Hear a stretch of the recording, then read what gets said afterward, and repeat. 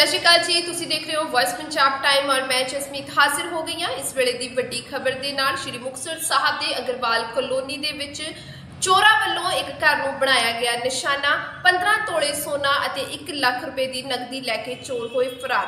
ਸਾਰੀ ਘਟਨਾ ਹੋਈ ਸੀਸੀਟੀਵੀ 'ਚ ਕੈਦ। ਜੀ ਹਾਂ, ਅਸੀਂ ਤੁਹਾਨੂੰ ਦੱਸ ਦੇਣਾ ਚਾਹੁੰਦੇ ਹਾਂ ਸੀਸੀਟੀਵੀ ਦੇ ਵਿੱਚ ਤੁਸੀਂ ਸਾਫ਼ ਤੌਰ ਤੇ ਦੇਖ ਸਕਦੇ ਹੋ ਕਿ ਕਿਸ ਤਰੀਕੇ ਦੇ ਨਾਲ ਚੋਰ ਜਿਹੜੇ ਹੈਗੇ ਨੇ ਉਹ ਸ਼੍ਰੀ ਮੁਕਤਸਰ ਸਾਹਿਬ ਦੀ ਅ, ਅਗਰਵਾਲ ਕਲੋਨੀ ਦੇ ਵਿੱਚ ਇੱਕ ਘਰ ਨੂੰ ਨਿਸ਼ਾਨਾ ਬਣਾ ਰਹੇ ਨੇ।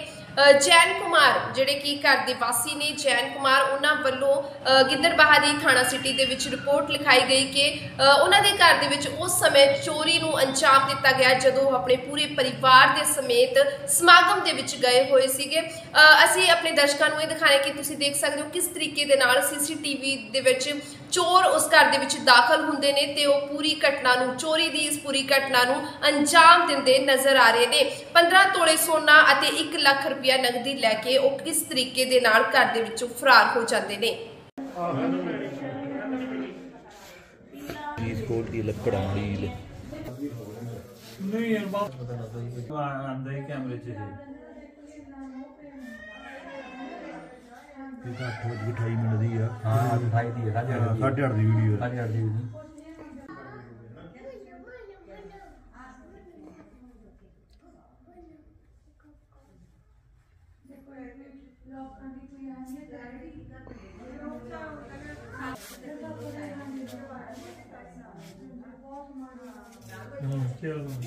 ਦੱਬੇ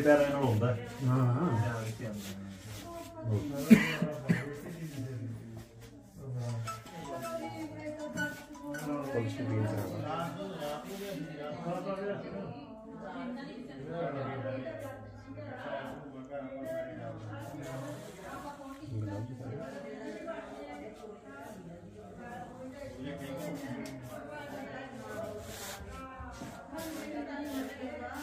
ਮਤਲਬ ਉਹ ਕੈਮਰਾ ਕਰਕੇ ਆਇਆ।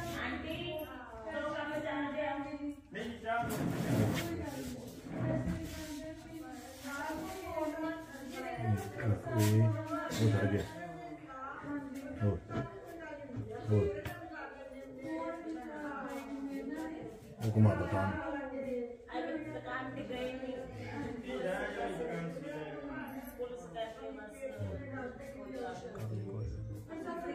ਥੋੜਾ ਬੈਠ ਹਾਂਜੀ ਆਊਗੀ ਹੁਣ ਆਊਗੀ। ਆਵੇ ਗੇਟ ਤੇ ਚੜ ਕੇ ਨਾ ਕੈਮਰਾ ਤੇ ਆਹ ਹਾਂ